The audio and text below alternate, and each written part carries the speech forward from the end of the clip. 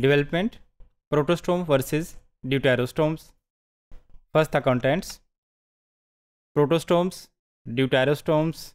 cleavage pattern in protostomes and deuterostomes and the determinate and the indeterminate cleavage. So first the protostomes students let me discuss the whole animal kingdom. If we talk about all the animals normally the animals they are divided into two major groups. The first one is the grade radiata and other one is the grade bilateria यानी animal kingdom को हम दो बड़े groups में divide करते हैं। एक, उन ग्रुप्स को हम ग्रेड कह रहे हैं। एक वो ग्रेड है या ग्रुप है जिसके अंदर रेडियल सिमेट्री पाई जाती है। जिनके अंदर रेडियल सिमेट्री पाई जाती है, उनको हमने कहते हैं they are belong to grade radiata and the other group of animal kingdom which are having bilateral symmetry जिनके अंदर बायोलिटरल सिमेट्री है, उनको हम कहेंगे it is the they are actually the grade bilateria. So, bilateral symmetry तो grade bilateria is the larger one यानी चंद एक फाइला है जैसे सिलन ट्रेड्स हमारे पास हैं, जिनके अंदर जो है वो जो डिप्लोप्लास्टिक हैं और रेडियल सिमेट्री रखते हैं, वो ग्रेड रेडिएटा में आएँगे। But most of the animal phyla they are included in grade bilateria तो ग्रेड बायोलेट्रिया के अंदर जो है वो ज़्यादातर एनिमल्स हैं। ग्रेड बायोलेट्रिया को फर्दर दो बड़े ग्रुप्स में डिवाइड किया जाता है that one is the protostomes and other one is the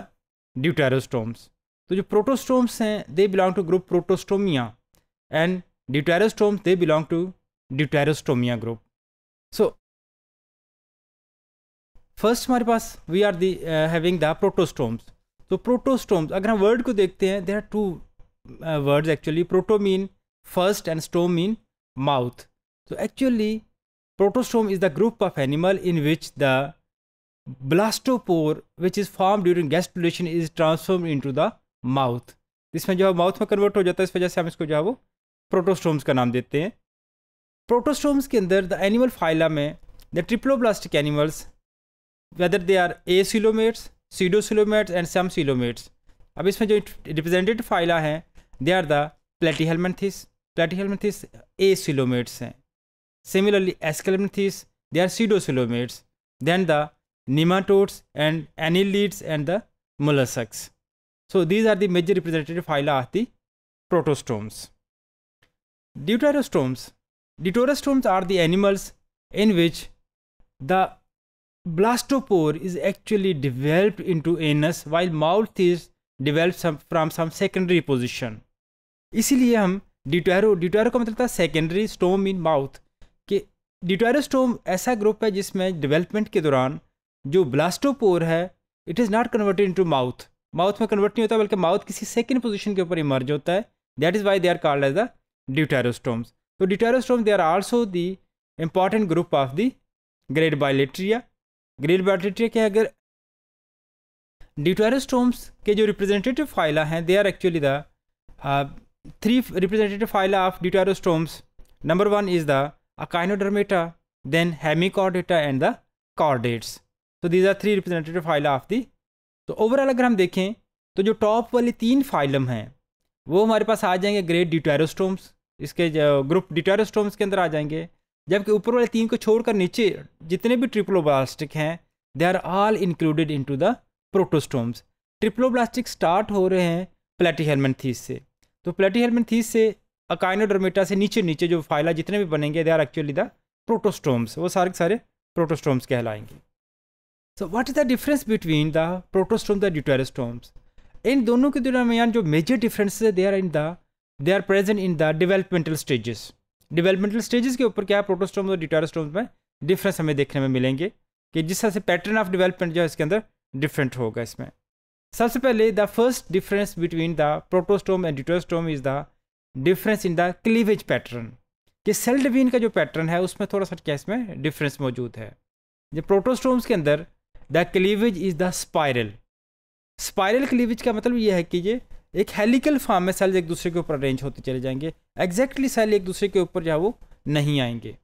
तो इस तरह से लोअर टायर ऑफ़ सेल और अपर टायर ऑफ़ सेल बिल्कुल एग्जैक्टली एक दूसरे के ऊपर नहीं होंगे, बल्कि थोड़ा सा टिल्ट करके सेल्स ऊपर वाले जो है मौजूद होंगे। So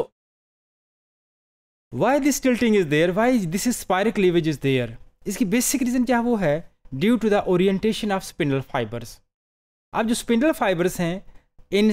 protostomes they are actually arrange in the oblique pattern to the animal vegetal portion अगर ये एनिमल वेजिटल पोर्शन है या पोल है तो ये थोड़ा सा ओब्लीकली उसके, जो अरेंज होगी, जिसकी वजह सेल्स जो है वो exactly top to bottom divide नहीं करेंगे, बल्कि थोड़ा सा एक ओब्लीक साइड के ऊपर जो है टिल्टेड साइड के ऊपर डिवाइड करेंगे। Deuterostomes they are having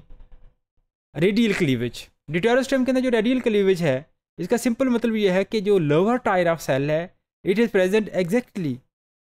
below the upper tier of cells तो in upper tier of cells और नीचे वाले टायर ऑफ़ सेल्स वो both are in the same line एक ही लाइन के ऊपर जो है वो मौजूद होते हैं। And basically this is due to the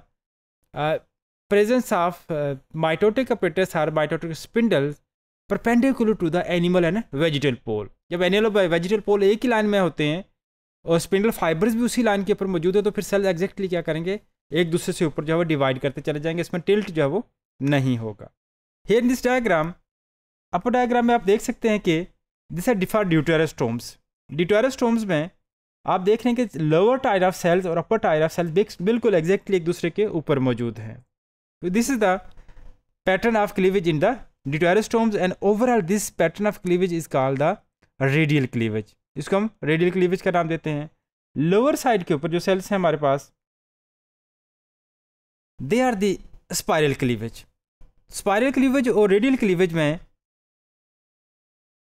जो मेजर डिफरेंस है this is about the orientation of upper and lower tiers of cells अगर आप देखें इसमें, अगर ये एक सेल है तो इसके ऊपर वाला सेल जो है वो बिल्कुल इसे एक साइड पर टिल्ट करके चला गया है। एग्जैक्टली exactly इसके ऊपर मौजूद नहीं है। So the other difference between protostome and deuterostome is the determinate and indeterminate cleavage जो प्रोटोस्टोम्स हैं, उनके अंदर जब सेल अभी टू सेल स्टेज के ऊपर एम्ब्रियो मौजूद है या फोर सेल्स के स्टेज के ऊपर एम्ब्रियो मौजूद है तो सेल्स की फेट कंफर्म हो जाती है। एंड इफ़ दो cells are remove from the embryo the relevant organ will not be formed जबकि ड्यूटेरोस्टोम्स में ऐसा नहीं है। ड्यूटेरोस्टोम्स के अंदर जो सेल की फेट है, वो लेटर एम्ब्रियोनिक स्टेजेस के ऊपर डिटर्मिन होती है, इसलिए डिटोरोस्टोम्स में अगर सेल्स रिमूव कर दिए जाएँ तो कोई बॉडी ऑर्गन मिसिंग नहीं होगा, बल्कि सारे सारे बॉडी ऑर्गन्स बन जाते हैं।